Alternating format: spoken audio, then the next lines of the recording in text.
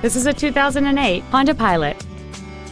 It has a 3.5 liter six cylinder engine, a five speed automatic transmission, and the added capability of four wheel drive.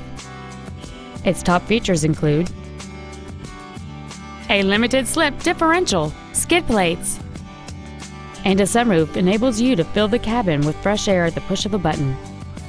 The following features are also included air conditioning with automatic climate control, cruise control, full power accessories, side curtain airbags, variable valve timing, a rear spoiler, front fog lights, a traction control system, an anti lock braking system. And this vehicle has less than 72,000 miles. We invite you to contact us today to learn more about this vehicle.